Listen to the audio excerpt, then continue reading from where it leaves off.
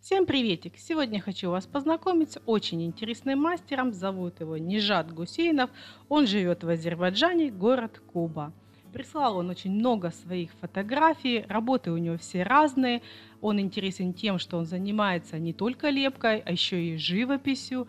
А я думаю, что тут уже лишнее что-то говорить. Давайте поскорее посмотрим все его работы. Для тех, кого заинтересовал этот мастер, внизу под описанием видео я прикреплю нужные вам ссылочки и номера телефонов.